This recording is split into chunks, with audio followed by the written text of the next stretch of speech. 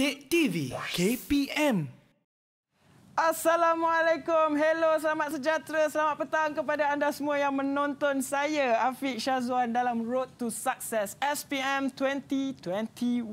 Baiklah, jadi macam biasa, Afiq akan pesan kepada anda semua sama-sama kita memendung penyakit wabak COVID-19 ini dengan cara mematuhi SOP. Ya, jangan lupa untuk gunakan pelitup muka. Kemudian kalau nak keluar rumah tu jaga kebersihan, hand sanitizer jangan lupa dah. Apa yang paling penting jaga jarak anda bersama dengan individu yang lain. Okey, jangan cakap rapat-rapat, jangan peluk-peluk kawan. Okey. Baiklah. Jadi macam biasa hari ini kita akan belajar bersama dengan guru jemputan dan tajuk kita pada hari ini ialah subjek pembuatan perabot. Topiknya reka bentuk produk. Ha, itulah dia. Jadi mesti ramai yang dah tertanya-tanya siapakah guru jemputan kita pada hari ini. Tanpa buang masa, mari kita sama-sama saksikan profil guru yang telah kami sediakan ini.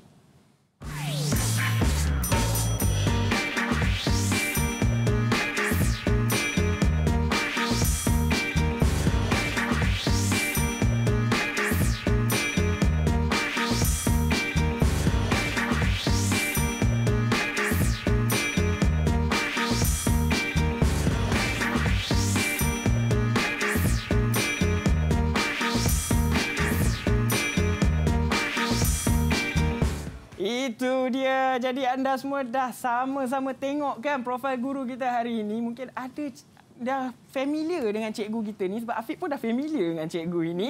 Inilah dia Cikgu Saliza. Assalamualaikum cikgu. Waalaikumsalam Ya, yeah, apa khabar sehat cikgu? Sihat alhamdulillah. Ya, yeah, maksud ni kita dah banyak kali lah bersama dengan cikgu kan? Ya. Yeah. Okey. Baiklah. Jadi sebelum kita mulakan sesi pembelajaran kita, saya nak tanya dengan cikgu. Uh, selain daripada bidang perniagaan untuk pelajar yang mengambil bidang pembuatan perabot ini, selain itu apa lagi bidang yang mereka boleh ceburi dengan uh, bidang pada hari ini? Oh, mereka boleh menjadi uh, kontraktor, Oh, kontraktor. Yeah. Oh, maksudnya banyak juga pecahan kerjaya untuk yeah. subjek ini ya, cikgu kan? Ya, yeah. kontraktor okay. boleh, cikgu boleh, cikgu pun boleh. boleh. Ah, macam-macam sebenarnya kerjaya yang adik-adik kita. Okey, jadi sebenarnya dengan adanya topik pada hari ini, reka bentuk produk. Sebelum kita mulakan sesi pembelajaran, cikgu ada tak pesanan ataupun mungkin um, info tambahan buat mereka semua sebelum mereka mulakan belajar pada hari ini?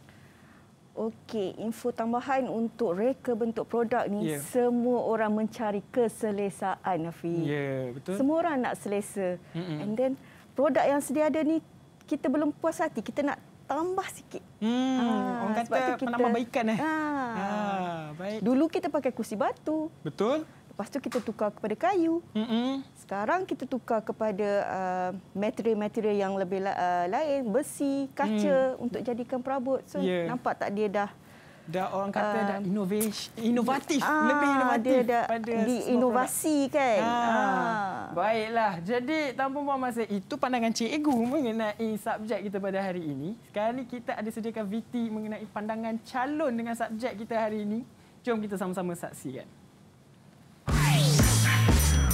Didik TV KPM Assalamualaikum dan selamat sejahtera. Saya Muhammad Azmi Aiman bin Nasri uh, Dari SMK Wangsa Melawati. Saya memilih aliran perabot ini sebagai kejaya pada masa hadapan.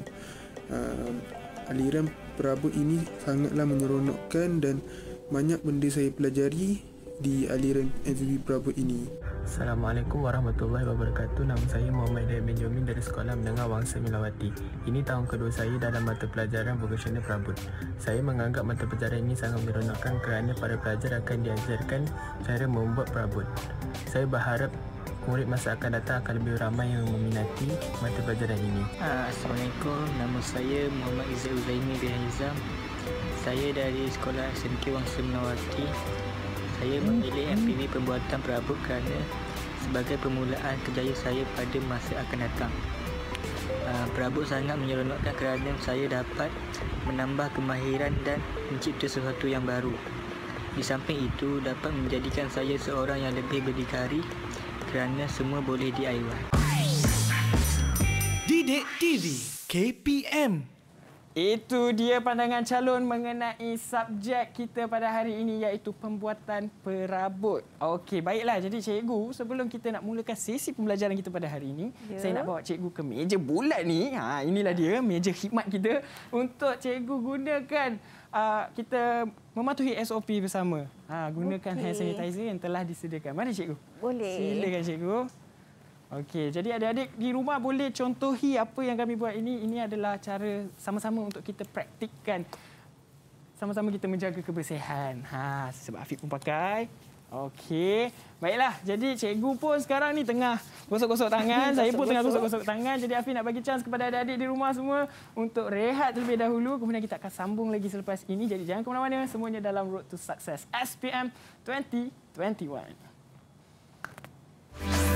Didik TV KPM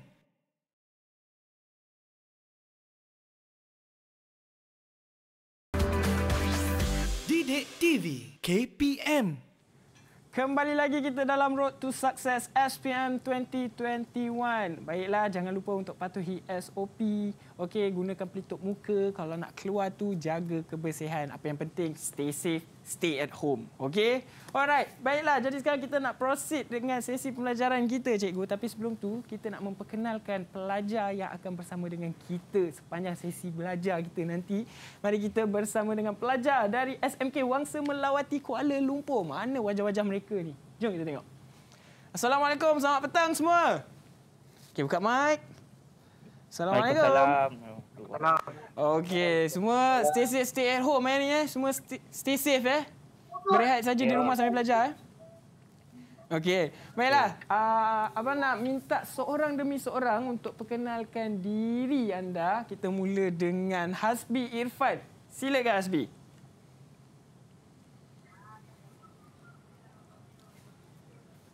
Alamak, line Hasbi. Sangkut. Okey, tak apa. Kita pindah ke sebelahnya. Muhammad Hidayat terlebih dahulu. Assalamualaikum warahmatullahi wabarakatuh. Nama saya Muhammad Hidayat Benjomi. Baik, seterusnya. Assalamualaikum dan selamat sejahtera. Saya Muhammad Harid Syawal bin Abdul Aziz. Okey, di sebelah Izzat. Assalamualaikum warahmatullahi wabarakatuh. Nama saya Izzat Uzaimi. Okey. Yang bawah. Assalamualaikum. Nama saya Muhammad Azmi Aiman bin Nasri. Okey, kita patah balik yang pertama tadi. Uh, Assalamualaikum. Nama saya Wazbi Ipan bin Warusdi.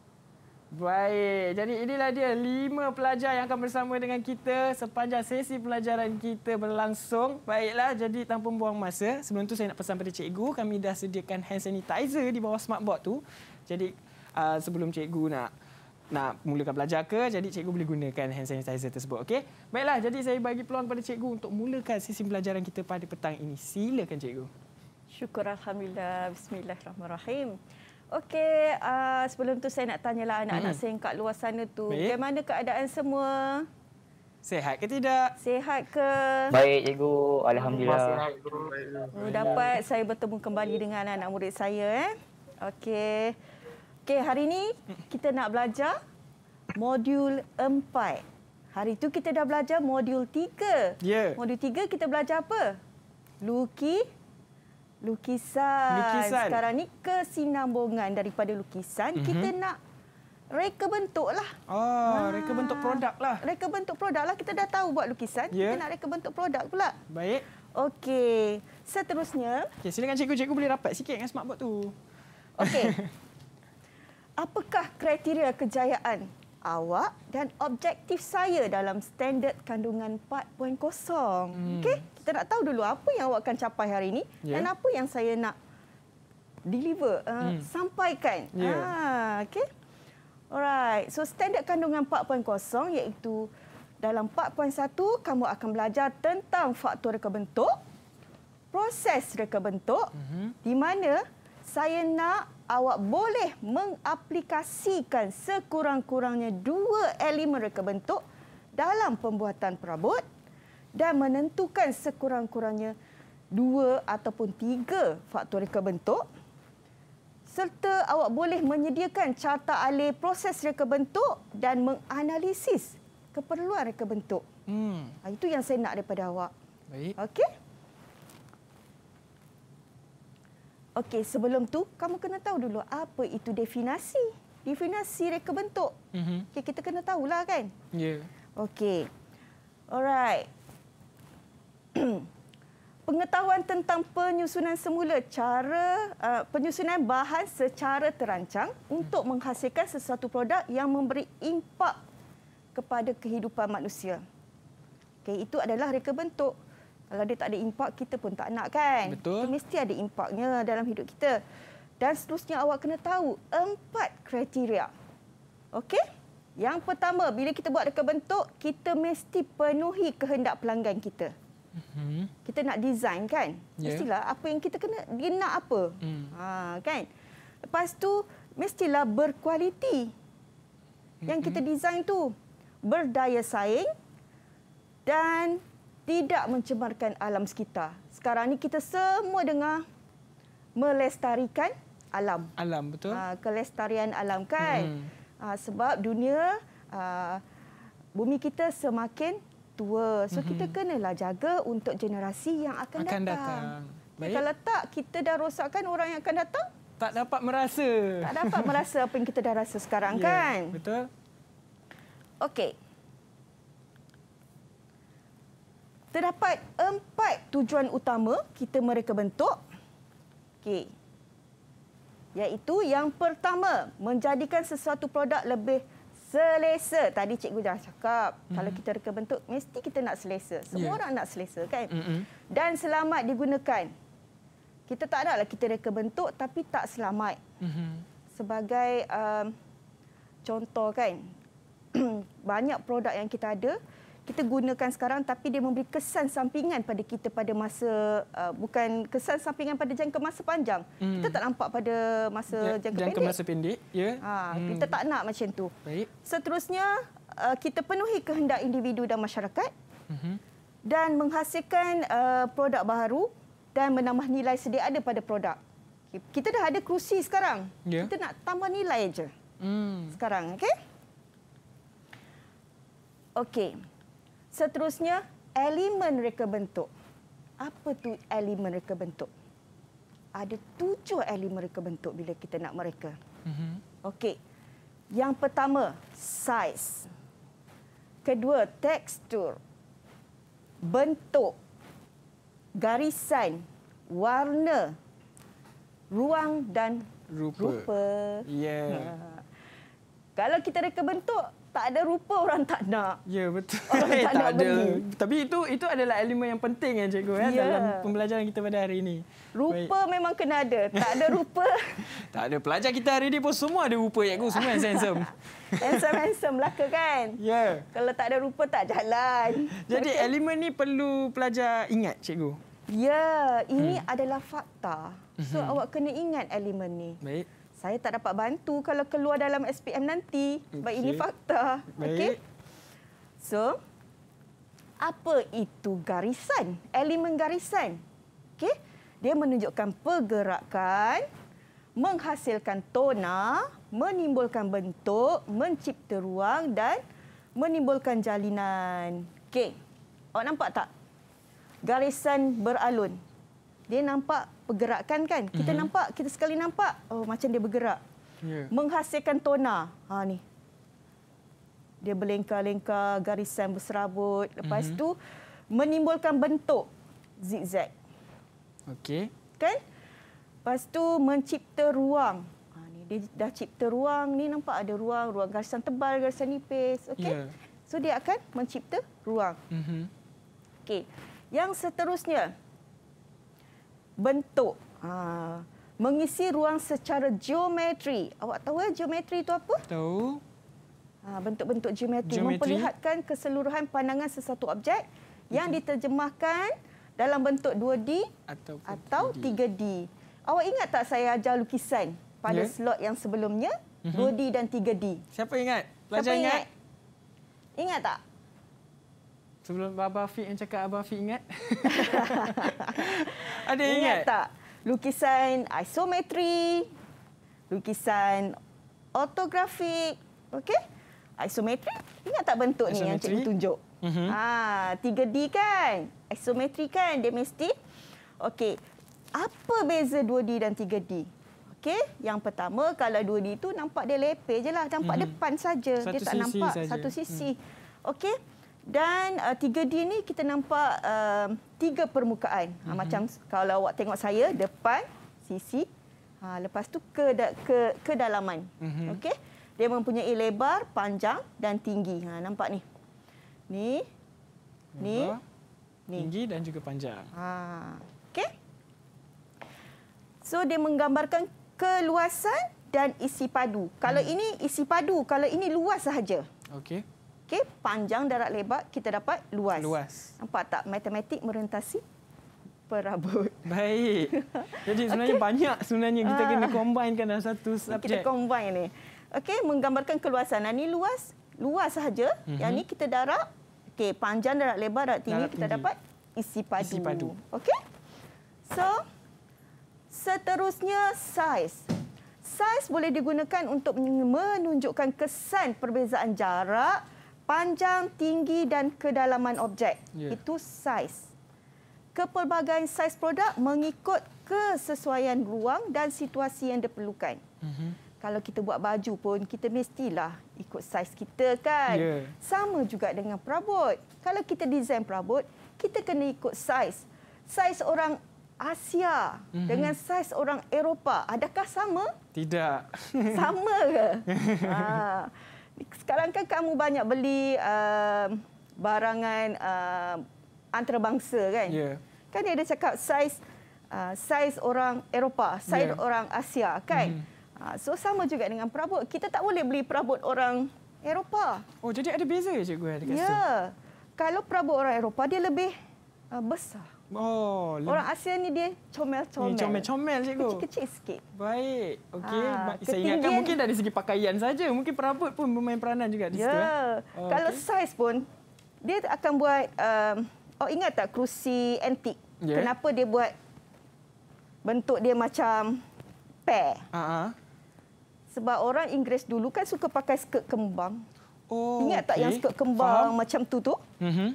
So kalau dia nak duduk kerusi kecil, macam mana dia nak duduk dengan skirt dia tu? Ya, jadi itulah memerlukan tempat duduk yang lebar sikit. Ya, dia Oh, akan okey. buat macam uh, buah pear tu. Hmm. Ah, sebab itulah dia macam tu. Baik, Okey. Sekarang tu kan meja.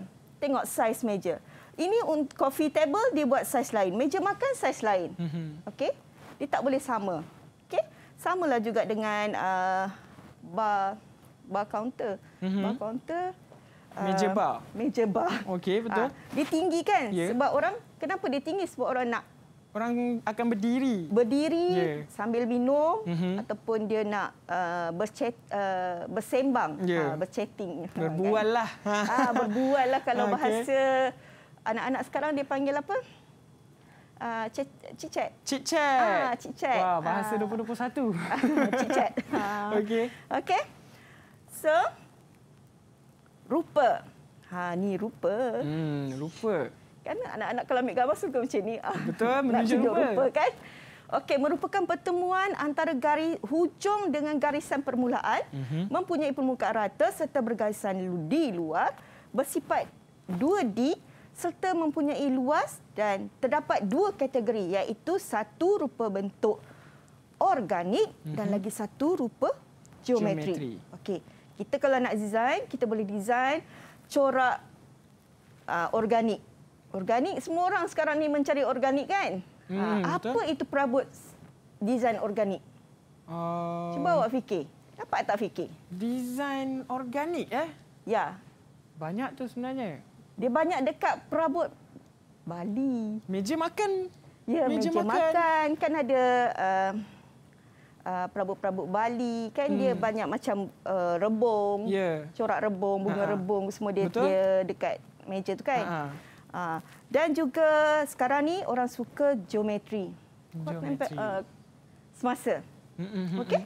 Nampak bentuk geometri, ada bentuk uh, meja bentuk hexagon, Meja bentuk bulat ni. meja bentuk bulat, uh, pentagon, Ya. okey, nonagon, dektagon. Ini matematik juga. Ya, betul cikgu. Baiklah, jadi sebelum kita sambung lagi cikgu, saya nak berehat terlebih dahulu. Bukan saya sebenarnya, saya nak bagi peluang kepada adik-adik ataupun pelajar di rumah juga berehat. Jadi jangan ke mana-mana. Kita sambung lagi selepas ini. Semuanya dalam Road to Success SPM 2021. Didik TV KPM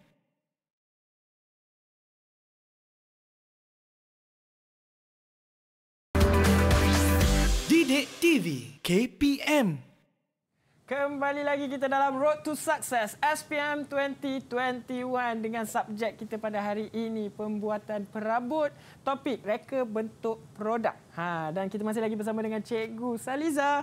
Silakan Cikgu kita mulakan sesi pembelajaran kita. Okey, kita teruskan kepada elemen warna. Baik. Elemen warna sangat penting sebab kita nak menarik Mhm. uh, pelanggan kita. Kalau kanak-kanak, kita guna warna Hmm. kanak-kanak lah. Warna yang kanak-kanak suka. Setiap warna... kali kita pandang je dah tertarik dah. Ah, dah Ha. tertarik. Okey. Okey merupakan kesan pembalikan cahaya ke atas sesuatu objek yang dapat dikesan melalui panca indera kita. Sebab tu bila tengok je Ya. suka. Ha. Ha. Dia ada tiga bahagian uh, warna iaitu warna asas, sekunder dan tetir. Okey, warna asas ni apa? Semua orang tahu eh. Kuning, biru, merah. Warna sekunder apabila kita campur dua color ni. Mhm. Ha, biru campur kuning jadi Hijau. hijau. Kuning campur merah jadi Jingga. jingga. Ha, jingga. Ha, okey, kita campur pula yang ni dengan yang uh, ni dapatlah biru. Biru. Okey. Seterusnya warna tetir. Kita akan campur dua warna yang bersebelahan pada Mhm. pola warna. Kita akan dapatlah warna-warna yang uh, campuran warna yang sekarang ni warna yang uh, orang suka lah warna macam-macam Ya, sekarang ni. betul. Kalau awak pergi kat kedai uh, cat kan awak Mhm. nampak macam-macam color. Ya. Ah, rumah sekarang pun macam-macam color dah. Kalau dulu warna warna krim, warna Hmm. coklat, Mungkin warna-warna yang dah terlampau biasa pun mungkin dah jarang digunakan. Lebih Ya. luar biasa. Ha, sekarang luar biasa. Ya. Okey.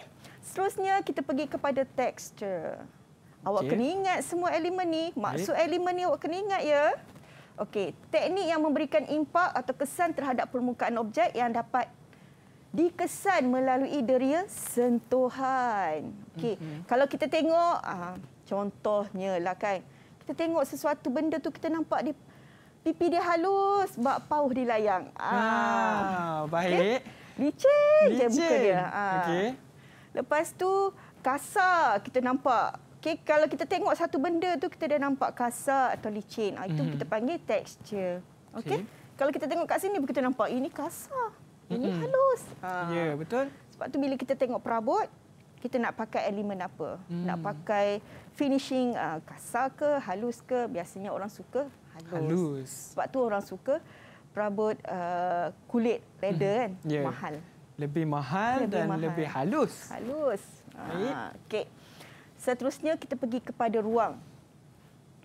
Ruang ialah kawasan kosong yang dikelilingi oleh elemen garisan bagi menampakkan objek tu lebih jelas dan keluasan menjadikan sesuatu reka bentuk lebih terselah dan menarik. Mhm. Dan ruang terbahagi kepada dua iaitu ruang positif dan ruang negatif. Okey. Bila kita tengok kat sini, ha, ruang positif ni yang belah depan. Hmm. Ruang negatif ni sebelah belakang. So bila kamulah manalah tahu di antara kamu ni nanti yang akan jadi home designer, kamu memang kamu akan guna benda ni. Oh. Ha, bila Okey. kamu jadi home designer, kamu biasanya kalau ni kamu ambil post uh, apa? cardboard, kamu Mhm. akan susun-susun untuk kamu nampakkan dia lagi lebih jelas. Okey?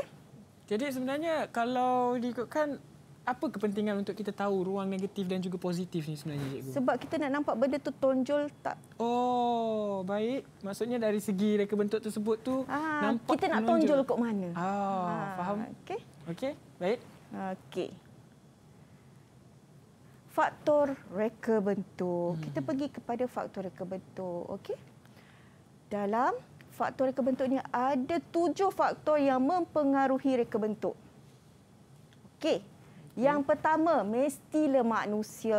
Sebab manusia lah yang banyak komennya. Ya, betul. Okey. Segala benda dia akan komen, segala, dia akan uh, ni kan memberi Mhm. komen. Okey, reka bentuk yang baik menjadikan kehidupan manusia lebih selesa. Selesa. Sebab semua orang nak mencari keselesaan. Okey. Sebab itulah daripada dulu uh, kerusi tak ada sponge. Dia letak sponge sebab hmm. nak bagi lembut dan empuk bila duduk. Okey, dulu kerusi kayu je. Tak Ya, ada betul. pun sponge. Mm-mm. Kan? Ha, katil dulu pun tak ada kan. Sekarang ni tilam tebal-tebal kan. Tebal-tebal cikgu. ha, kan? Okey, yang kedua fungsi. Mestilah faktor tu mempengaruhi fungsi untuk mm-hmm. menyelesaikan masalah dan memenuhi keperluan dan kehendak pengguna. Baik. Kalau kita reka bentuk tapi tak ada fungsi, Mhm. tak gunalah juga. Ya. Okey. Mungkin akan terbi, terbuang Nampak begitu cantik je. tapi tak boleh nak guna. Hmm. Nak buat apa kan? Ya. Ha, kita tengok je. Eh, rugi, rugi, je. Rugi, rugi. Yang kedua, keselamatan. Produk selamat digunakan oleh pengguna tidak memberi kesan sampingan, mesra pengguna dan mesra alam. Mhm. Ini memang kelestarian. Okey, macam sekarang sebagai contoh reka bentuk uh, macam peti sejuk kan. Ha, sekarang dah ada ada Dah peti ada sejuk yang uh, orang kata mesra alam. Kalau dulu kan kita selalu dengar peti sejuk uh, dia menggunakan CFC kan dapat Mhm. uh, menipiskan lapisan ozon kan. Ya. Sekarang ni dia dah pakai HFC kalau tak salah saya hydro hydrofluoro uh, saya tak pasti yang tu. Tapi HFC ke. Baik, baik cikgu. Yang mengurangkan sedikit. Ha. Maksudnya sesebuah reka bentuk yang lebih kepada Ya. masuk alam. Okey. Yang seterusnya ialah estetika. Estetika ni tahu apa benda? Nilai estetika? Kelainan. Ha, kelainan, warna. okey. Okey. Nilai estetika itu nilai estetika ni sayang nak buang. Hmm. Setengah orang Ah. tak buang perabot antik sebab dia ada nilai Ya. estetik dia kat situ. Baik. Bahan yang digunakan mengikut keperluan produk. Sekarang ni bahan tu mudah diperoleh. Okey, sekarang kita jarang guna perabot daripada kayu padu Mhm. sebab kita tak nak tebang hutan banyak. Ya. So sekarang ni daripada sebatang kayu kita hancurkan kayu kita jadikan board. Kita dapat banyak. Mhm. Daripada sebatang pokok kita boleh dapat banyak bahan. Mhm. Ha, kalau dulu sebatang pokok tu kita buat kadang tak cukup kita tebang lagi pokok kan. Ha, Ya. So sekarang ni ada pelbagai jenis bahan sebagai contoh MDF, medium density fiber board, Mhm. papan serpai, okey. Particle board, Mhm. cement board, kita campur kayu dengan simen. Mhm. Okey, kita ada banyak lagi papa, kayu berroti, papan lapis. Ada banyak macam jenis yang kita dah pelbagaikan kayu. Okey? Okey. Seterusnya agronomik. Oh, mesti apa ni cikgu agronomik macam dinamik je. Okey, dan yang terakhir mestilah ini RM. Okey, Hmm. benda ni sangat penting. Kos pengeluaran produk yang berpatutan, Mhm. harga jualan yang berpatutan dan tidak membebankan pengguna. Oh. Kalaulah kita buat produk, kita design produk tu harga dia ratusan ribu, Mhm. berapa berapa customer, berapa pelanggan yang dapat membeli produk kita daripada kita buat produk yang harga dia berpatutan, Patutan. Ramai orang boleh pakai dengan produk harga ratusan ribu hanya satu atau dua orang ataupun Hmm. orang kayangan saja boleh pakai. Ya, Ha, bahasa sebab sekarang mahal kan. Ha. Tapi cikgu, saya nak balik kepada ergonomik tu cikgu. Uh, mungkin um, saya punya rasa macam ada ergonomic chair tu yang kursi dia macam melengkung. Yes, Yang sebab duduk selesa tu kan. Agronomic chair ni dia mengikut keselesaan, mengikut uh, saiz badan. Ah. Untuk keselesaan orang tu kita design uh, macam uh, untuk tulang belakang, Hmm. okey. Untuk uh, apa ni uh, rehatkan kaki. Ya, betul. So dia mengikut keselesaan. Mhm, baik. Okey, sebab itulah kita panggil Ergonomik. ergonomik. Okey. Baik. Boleh saya teruskan? Boleh. Boleh tak pelajar semua? Okey. Rasa-rasa ingat tak? Ha, Ingat ingat, tak? tak fakta-fakta ini? Ingat Eman eh? Awak kena ingat sebab uh, soalan SPM kita berbeza daripada Hmm. 2020. Ya, betul. Okey. Mari kita tafsir. Apa yang saya cerita tadi? Okey. Ini kerusi ni. Mhm. Okey, yang pertama, masalah yang pertama ialah faktor manusia. Kenapa? Keadaan penyandang kerusi yang keras dan tidak boleh dilaraskan, pengguna tidak selesa.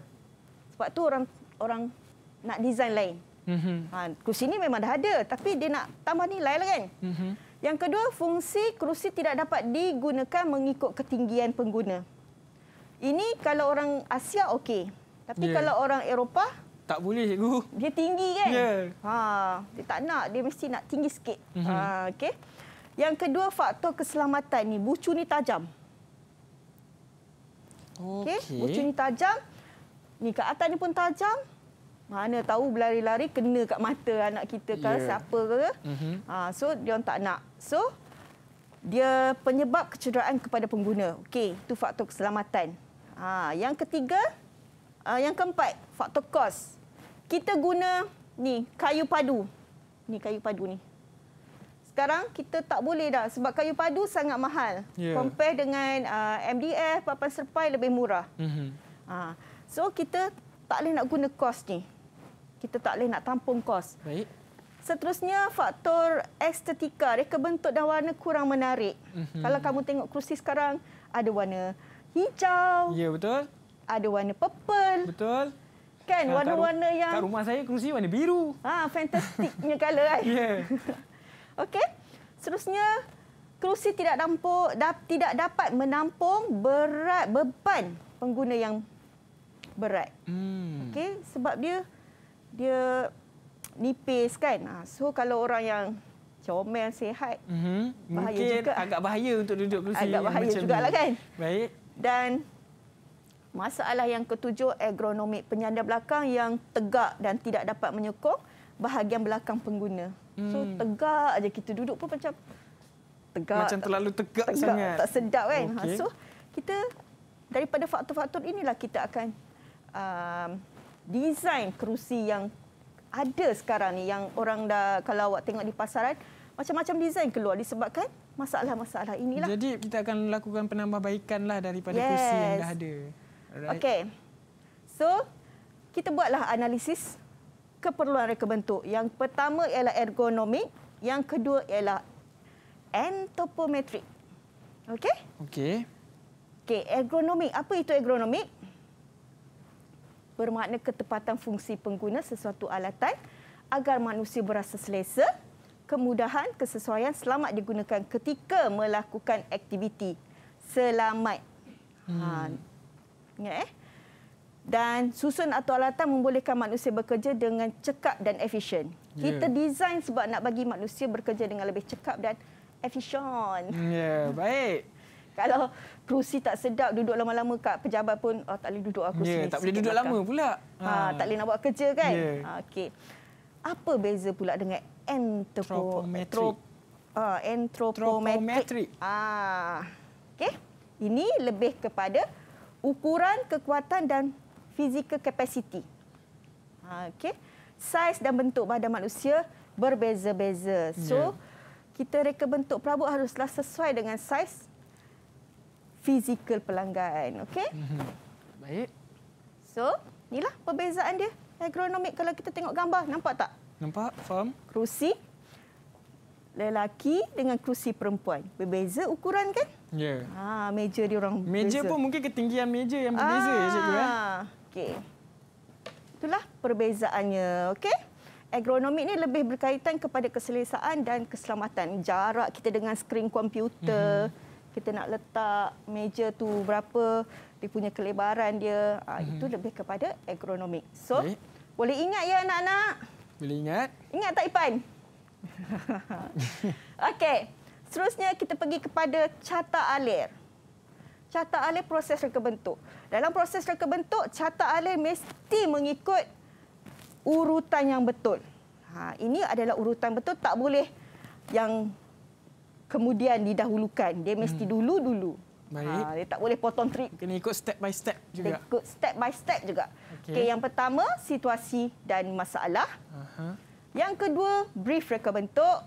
Yang ketiga, lakaran idea awal. Kalau dalam situasi masalah, okay, kita kena kenal pasti masalah apa yang kita hadapi. Ha, contoh tadi, kita dah tafsir. Betul? Okey. Seterusnya kita kena brief reka bentuk. Kita mengadakan perbincangan dengan uh, grup kita. Mhm. Okey. Kita brief apa benda yang kita dapat. Okay, macam kita briefing lah. Ya. Ha, Okey, dalam grouping. Lepas tu kita sumbang saran dan pengumpulan maklumat. Lepas Mhm. kita briefing, uh, kita briefing, kita akan dapat sumbang saran daripada rakan-rakan kita. Cadangan. Cadangan. ah, pendapat. Baik. Dapat fungsi bahan apa kita nak guna. Hmm.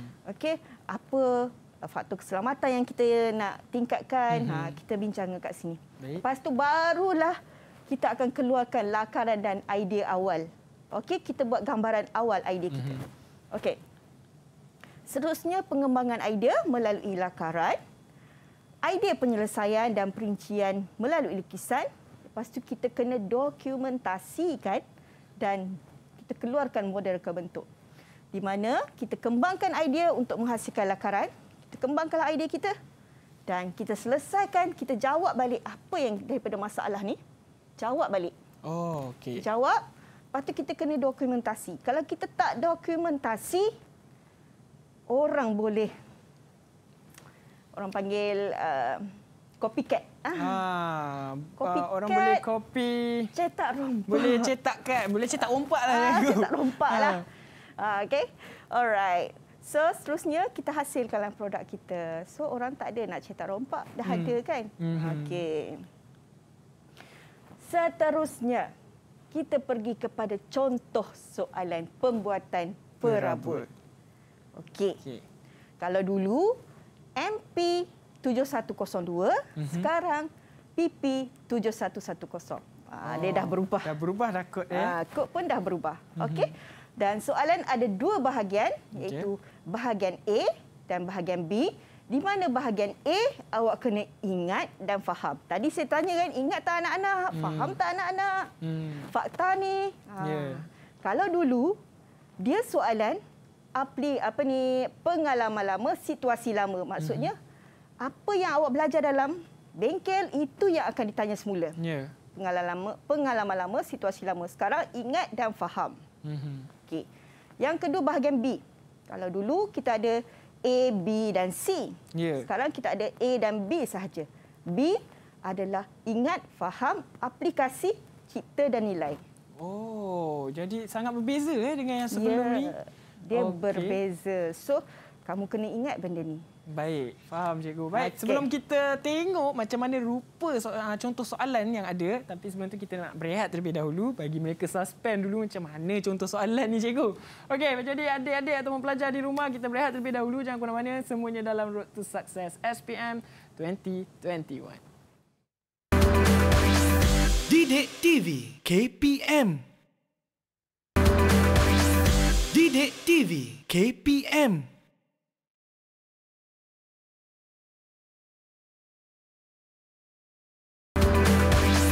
Didik TV KPM Kembali lagi kita dalam Road to Success SPM 2021.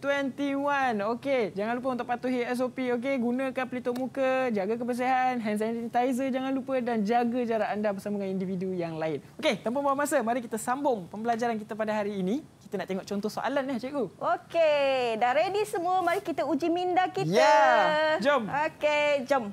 Alright. Bahagian A, tadi cikgu dah kata ingat dan Faham. faham. Awak mesti ingat apa cikgu ajar tadi dan awak mesti faham. Kalau awak tak ingat, tak faham, awak tak boleh jawab. Baik. Okey, soalan yang pertama. Okey. Penyataan di bawah menerangkan elemen reka bentuk. Ni diterangkan elemen reka bentuk.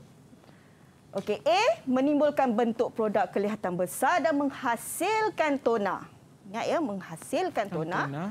Apa eh segaris. Okey. Merupakan kesan pembalikan cahaya ke atas sesuatu objek memberikan suasana ceria. Pembalikan cahaya. Mengisi ruang geomet, uh, ruang secara geometri dan memperlihatkan keseluruhan pandangan sesuatu objek. Dan D teknik yang memberikan impak atau kesan kepada permukaan objek. Kesan. Yang ni cahaya. Yang ni geometri. Tadi cikgu sebut tau. Digunakan okay. untuk menunjukkan kesan perbezaan jarak, panjang, tinggi dan kedalaman objek. Objek. Ni. Perbezaan jarak. Okey, berdasarkan pernyataan di atas, namakan elemen reka bentuk dengan menulis A, B, C, D dan E pada ruang jawapan. Mhm. Soalan ini, kamu hanya perlu uh, memberi, memilih jawapan. Okey? Jawapan diberikan, kamu kena pilih. Tapi berdasarkan pernyataan. Boleh ingat ya? Okey. Siapa nak jawab? Okey, siapa nak cuba? Siapa yang berani untuk mencuba? Uh, saya cikgu. Izzat. Okey. Okey, sila Izzat. Izzat. Okey. Nama elemen. Warna. Pernyataan mana yang tadi menyertakan warna? Mana B. Okey. Bentuk? Bentuk uh, C. C. Garisan? Uh, A. A. Okey. Saiz? Saiz E. E. Dan tekstur? Uh, D. Okey. Kita tengok. C. E. E. Betul. Semua betul lah cikgu eh? Ah, Alhamdulillah. Wah, Maksudnya tahniah awak- Izzat. Mungkin awak buat catatan agaknya. Dia dah prepare dah ni. Okey, dia catat tadi. Okey, syabas. Okey, so betul. Okey, nampak tak? Kamu kalau kamu tak ingat tadi, kan? Um, sorry. Uh, kalau kamu tak ingat tadi, kita back tadi, kamu tak ingat benda-benda ni kan? Menghasilkan tona, okey. Uh, lepas tu menimbulkan bentuk menghasilkan tona. Tadi kan saya dah cakap tadi masa slide yang sebelum dia adalah garisan, lepas tu uh, pembalikan cahaya tu adalah warna, Mhm. okey. Geometri tu bentuk, Ya. okey. Lepas tu uh, ini tekstur, saiz. Kalau kamu tak ingat memang kamu tak boleh jawab. Mungkin um, Izzat pandai memahami keyword yang cikgu berikan tadi. Okey. Ah, keyword yang membantu. Okey, soalan seterusnya. Jadual menunjukkan kriteria reka bentuk. Tadi ada empat kriteria tadi masa slide yang pertama tadi, kedua, Ya. ketiga. Okey, siapa nak jawab soalan ni? Hasbi. Saya oh, Okey, so, memenuhi kehendak pengguna betul atau salah? betul. Betul. Bahan yang merosakkan alam sekitar. Uh, salah. Salah. Kurang berdaya saing dengan produk tempatan ataupun produk sedia ada. Uh, salah. Okey. Berkualiti tinggi. Uh, betul. Ha, Ya. ha ini memang boleh dapat ni. Okey. Hmm. Memang dapat okey. betul semua. Semua. Lima, empat markah. Okey, untuk soalan uh, 2021, okey, dia boleh uh, satu, dua markah, tiga markah, empat, lima. Maksimum lima. Maksimum lima. Ah. So dan ini adalah soalan berbentuk langkah kerja. Mm-hmm. Dia tak boleh yang dulu di apa ni di dulu apa dikemudiankan Mhm. mm-hmm. ataupun dia mesti Yang step kemudian by- didulukan, tak Ah, boleh. Tak boleh. Mesti dia mesti ikut ikut step, step. by step. Baik. Okey. So soalan ni siapa nak jawab? Okey, siapa nak cuba? Sa- Saya cikgu. Okey. Apa dia? Mari kita baca. Jadual menunjukkan carta alih proses reka bentuk yang tidak mengikut urutan. Ha, dia dah dia dah kata dekat sini tak ikut urutan. Susun semula B, C, D, E, F proses carta alih reka bentuk mengikut urutan yang betul pada ruang jawapan dengan langkah 1, 7 dan 8 telah diberikan. Nampak dia dah bagi dah? Okey. Tadi langkah satu, situasi dan masalah. Selepas situasi dan masalah, kita buat apa? Hmm, brief reka bentuk. Okey, brief reka bentuk. Seterusnya langkah tiga, Sumbang sumbang saran dan pengumpulan maklumat. okey. Langkah empat, Lakaran dan idea awal. lakaran dan idea awal. Okey, B. Okey. Langkah lima, Pengembangan idea melalui lakaran. Pengembangan idea melalui lakaran. C. Langkah enam, Idea penyelesaian perincian melalui lukisan. okey. Mari kita tengok jawapan. D, F, B, C dan langkah enam. E. E. Ah, bet- betul. Betul. Wis, kalau saya tanda ni memang best lah. Seronok cikgu. Lima, lima, lima, lima je. Alhamdulillah. Okey, sebab dia ada soalan rendah, Mhm. sederhana dan tinggi. Dia ada tiga tahap so jenis soalan. Macam ini soalan tahap sederhana. Okey? Okey.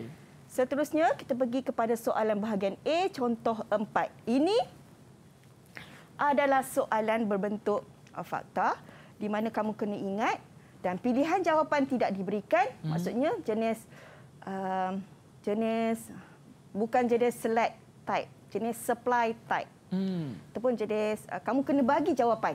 Okey. Jawapan tidak disediakan. Baik. So, dua markah. Pernyataan di bawah menerangkan tentang analisis keperluan reka bentuk. Ketepatan dan fungsi pengguna sesuatu alatan agar manusia berasa selesa. Yang kedua, ukuran kekuatan fizikal capacity size dan bentuk manusia adalah berbeza, maka perabot haruslah bersesuaian. Okey, tulis pada ruang jawapan pernyataan tersebut merujuk kepada satu. Merujuk kepada apa? Siapa nak jawab? Okey, tadi saya rasa saya sentuh pasal benda ni juga. Siapa nak jawab? Okey, siapa nak mencuba? Ah, Aiman, ya. Apa Ya, dia? Aiman. Silakan Aiman. Yang, yang satu tu ergon, ergonomik. Yep. Yang nombor dua tu antropometrik. Ha, bagus. Bagus. Sebab itulah saya garis ni. Supaya bila kita nak menjawab, kita cari keyword dia. Hmm. Supaya kita ingat. Sebab kalau kamu tak cari, mungkin kadang kamu terlupa ke. Hmm, betul. Dan lagi satu saya nak pesan, uh, ejaan Oh. mestilah tepat. Okey? Jadi sekiranya kalau ejaan salah akan jadi salah lah. Ya. Yeah. Okey, perlu berhati-hati di situ. Perlu berhati-hati di situ. Hmm, Kadang-kadang kamu spelling, uh, kamu eja, maaf ya. Ya, tak apa cikgu. Uh, agronomik kamu eja E G R O. Agronomi. Ha. Ha. ini kesilapan lazim yang Kesiap, mungkin kesilapan yang selalu, selalu di, pelajar dibuat buat. oleh Sebenarnya jawapan dah betul tapi sayangnya ejaan. ejaan. Okey. Ha. Okey? Hmm. Okey, kita pergi kepada contoh soalan bahagian B Boleh, cikgu. di mana Silakan, cikgu. ingat, faham dan aplikasi. Mhm. Ya, awak dah kena ingat, faham, awak kena apply. Lepas tu awak boleh cipta, awak boleh nilai. Baik. Okey. Bahagian B. Soalan satu. Anda diminta untuk mereka bentuk sebuah rak peralatan mandian yang boleh digantung di bilik mandi. Berikan fak, dua faktor yang perlu diambil kira. Nampak ini adalah ingat, faham. Hmm. Okey. kena ingat. Baik. Apa dua faktor Okay, itu? siapa kita nak cuba cikgu? Okey, berdasarkan jawapan lakarkan rekaan itu. Mhm. Okey, siapa nak jawab? Hidayat, nak cuba tak? Dayat ke Ipan ke? Saya cikgu. Okey, Ah, Okey, Hidayat. apa dia? Faktor apa? Menjadikan produk lebih selesa Lagi? uh, dengan selamat memenuhi kehendak pengguna. Okey, selesa selamat guna memenuhi kehendak pengguna. Okey? Okey. Alright. Yang kat sini kita boleh bagi faktor fungsi, Mhm. faktor bahan, faktor kos, faktor manusia. Okey? Yang tadi. Hmm. Okey? Tak apa. Okey. Seterusnya dalam bila kita nak buat lakaran, reka bentuk mesti ada rupa Dan, dan bentuk mesti memenuhi fungsi, konsep lakaran Baik. dan label. Kita jawab balik soalan yang nombor dua lah sebab mm-hmm. dia nak label, konsep lakaran tu mesti ada, konsep apa sebab kita dah belajar lukisan. So kita bagilah contoh. Oh. Kamu kena lukis benda ni sebab kamu dah belajar dalam modul tiga Hmm. lukisan. So kamu dah kena draw lah lukis contoh. contoh. Baik. Dan kamu kena label kat sini. Awak guna cermin ke, Hmm. awak guna stainless steel ke kat sini. Mhm. Konsep lakarannya awak guna ISO ataupun oblique. Okey. Penuhi fungsi ke tak. Okey. Okey. Keselamatan. Fungsi keselamatan. Baik. Nampak ni dia tak tajam.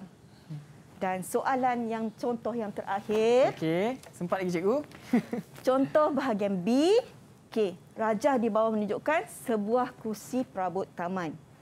Nampak tak? Berikan dua tujuan untuk mereka bentuk perabot itu. Apa tujuan kita reka bentuk perabot hmm. itu? Dan berdasarkan raja di atas, reka bentuk perabot kerusi taman hanya mempunyai satu fungsi. Boleh duduk aja. Ya. Yeah. Okey, dia boleh duduk aja fungsi dia. Okey dan kurang selesa. Tak tak ada selesa tak apa? Keraskan hmm. kayu. Lakarkan sebuah perabot kerusi taman yang mempunyai dua fungsi dan lebih selesa pada ruang jawapan. Okey. So, soalan ini, siapa nak jawab? Okey, siapa nak cuba? Ada yang berani cuba? Siapa? Tak ada cikgu, cikgu tunjuk jawapan. Contoh jawapan. Okey, menjadikan produk selesa dan selamat digunakan dan memenuhi kehendak pengguna dan masyarakat, masyarakat. menambah nilai produk sedia ada dan menghasilkan produk baru. Ya. Okey, kat sini nampak tak? Tadi kita tambah cushion. Okey. Okey. Ini kita buat rak penyimpanan. Mm-hmm. Sebab kita dah ada dua fungsi. Satu tempat simpan, satu tempat duduk. Tempat duduk. Kemudian dia dah tambah keselesaan okay. di situ. Okey, kat sini kita boleh tambah tempat letak uh, minuman ke? Mm-hmm. Kan? Kat sini kita uh, tambah tempat letak minuman ataupun kat sini kita buat unrest ke, kita design balik produk yang sedia ada tu untuk tambah nilai. Okey, okay. itu sahaja daripada saya hari ini. Baik, terima kasih Cikgu Saliza. Okeylah, jadi saya nak ucapkan terima kasih kepada Cikgu Saliza kerana penyampaian ilmu kita pada hari ini. Semoga ilmu yang disampaikan dapat memberi manfaat kepada pelajar di rumah maupun pelajar di studio. Terima kasih pelajar dari SMK Wangsa Melawati Kuala Lumpur. Dan insyaAllah ada rezeki kita jumpa lagi. Dan itu saja daripada saya dan juga cikgu pada hari ini. Bye. Assalamualaikum. Kamu semua yang terbaik. Didik TV KPM Janganlah kamu berputus asa terhadap rahmat Allah. Sesungguhnya Allah mengampuni dosa-dosa semuanya. Sesungguhnya dialah yang maha pengampun lagi maha penyayang. Jadi ayat ini jelas mem, uh, jelas meminta murid semua untuk tidak berputus asa walau sukar macam mana keadaan yang murid hadapi pada waktu ini insya-Allah segala usaha akan membuahkan kejayaan. Uh, cuma uh, lambat atau uh, cepat saja kejayaan itu untuk kita kecapi. Janganlah sekali-kali kita merasa rendah diri dan hina dan uh, berputus asa untuk terus belajar untuk mencapai kejayaan cemerlang dalam perpasangan SPM ini nanti. Sekian, terima kasih baik anak-anak semua, murid-murid semua dan utama kepada murid-murid tingkatan lima. Saya ucapkan selamat belajar dan saya harap dengan adanya program-program seperti ini, anak-anak akan terus berminat untuk belajar dan anak-anak akan terus um, membuat ataupun akan terus menikmati sebenarnya belajar secara online ini adalah seronok. Baik gambar api biar sampai menjadi arang dan uh, sesuatu perkara itu tidak akan datang mengulik atau melayang ya dan tidak akan datang sendiri. Semuanya kita perlu cari dan semuanya kita perlu usaha